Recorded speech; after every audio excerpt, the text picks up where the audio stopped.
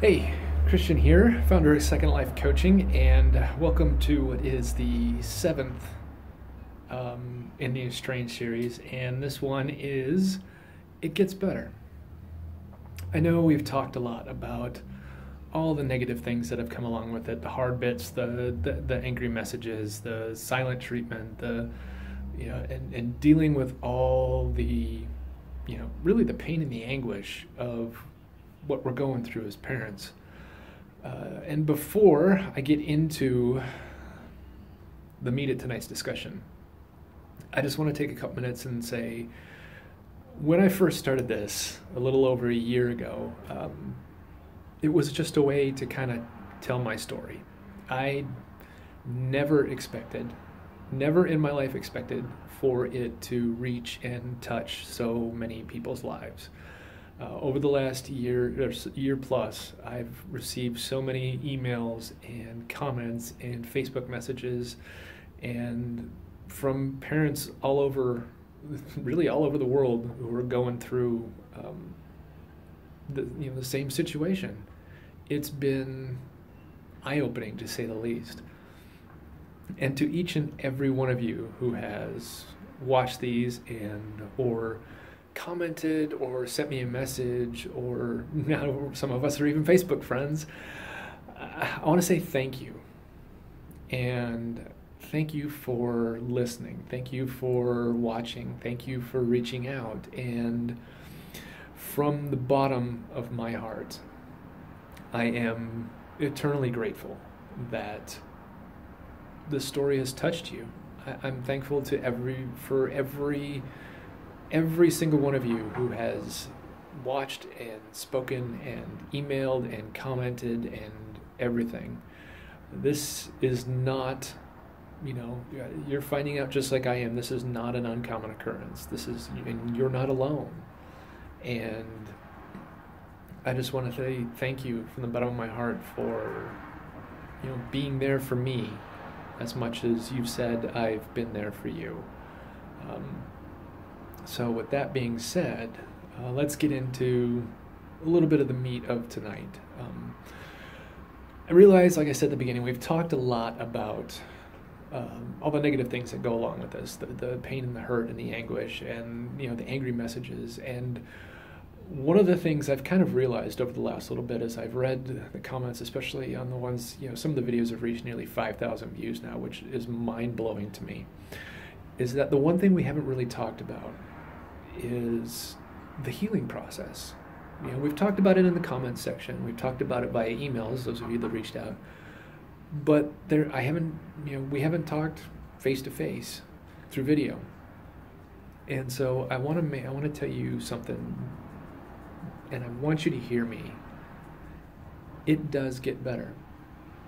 You know, it it really does. It may not seem like it. It may seem like the hurt and the pain is never ever going to go away and the the emptiness that you feel inside is never ever going to be filled and it's always going to be there.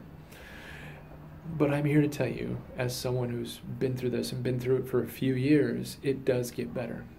You know I can't promise you that it'll go away completely you know and I can't promise you any sort of time frame on how long it'll take before it gets better. I can only promise you that it does. You know, the days and you know it, the periods between when you feel horrible or sad or just like you can't go on will get further apart. For some of you, that'll be you know one day you wake up and it'll be a couple of hours in between, some days, some weeks, and eventually it will spread out until the point where you're kind of back on normal life. You know, you're back doing you. You know, and those times are going to come up where it's something will catch you off guard. It'll be a holiday. It'll be an, an anniversary. It'll be a birthday. It'll be a song on the radio. Um, something on the television will will trigger a memory, and you'll have a sad moment. But those sad moments will begin to lose their power that they're going to lose you know their their their hold over you and when those times come up one of the things I've learned and what I want you to do is I want you to embrace it. I want you to acknowledge it. And then I want you to let it go. You know, they say misery loves company, but who really wants to be around a miserable person? Not me, not you, you know, not the people in your life. You know, they'll be there for you to walk with you for, you know, quite a while. But eventually, they want to see you be healthy. They want to see you be happy. They want to see you be back to the person you know that they knew when they first met you. The fun, you know, all, you know, laughter filled, ridiculous, goofy ass person that you are. And it takes time to heal, but you will get back there. You know, I'm sitting here a few years into this. Um, my oldest daughter and I are talking through Facebook Messenger, you know, but it's a start and I appreciate it and I love it and it's really kind of cool that you know after the few years you know we're we're chit-chatting again it's on and off you know it's not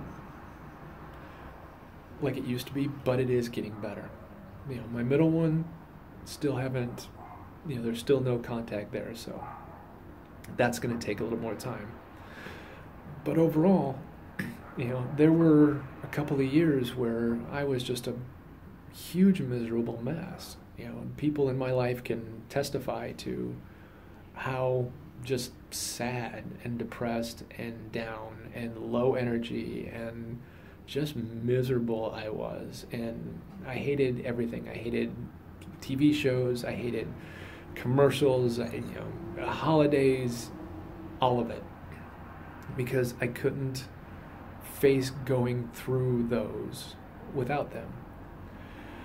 But as years go by, and I've come to accept kind of how things are, and I've forgiven, you know, everyone, including myself, for the things, you know, I did as a parent, which, you know, we all of us parents screw up. You know, we all do the best that we can with what we have, and sometimes it's you're not the parent that they need, and you know, back about a year ago, I wrote both of them a letter um, apologizing and saying that and saying, you know, I know I wasn't always the dad you needed to, you know, and I wasn't always the greatest father, but I did the best I could, and you know, I'm sorry, and I asked them to forgive me. For me, that was a turning point in the healing process because I had actually gotten to a point where I could forgive myself and release all of that and start walking in a path of healing to the point where I could start enjoying life again. And that's what I mean by learning to let that bit go. You know, some of you may not have that option of having contact. Write the letter then you know if you got the ability to you know burn it and release that energy into the universe free it from the pages and let it go out so that it's not inside you anymore do so those of you that have the have the ability send the letter handwrite it don't type it out handwrite it it's a bit more personal and a bit more it's a bit more connective when you're when you handwrite something out because it's it's flowing from you to the page and not through a screen and through a printer. And I can promise you that once you do that, things start to change. You start to feel a little better. You know, the, the sadness gets further and further apart. You know, you wake up the next morning, the sun shines just a little bit brighter, and you're able to do a little bit more than you were the day before. So it does get better. That I can promise you. I think it's time. It's time to start talking about healing. It's time to start talking about how to get through this and what you know I did and what you can do and what we can do together as a community to get through this together so that you can go back to being you know happy, filled, fulfilled, and full. because you know what? There are other people in your life that need you that way. So, again, this is Christian. Again, thank you. Thank you so much for everything that you've said over the year. Um, I hope this video finds you well, and I hope that we can continue along this journey together, and I hope we can walk towards healing all together. So, I'm gonna go back inside now. I'm sitting out here in a patio. It's a gorgeous Florida evening, but it's time to be done and time to chill for a little bit and maybe watch a little bit of Poldark and get this up on the YouTube. So, you got this. I got your back. Peace.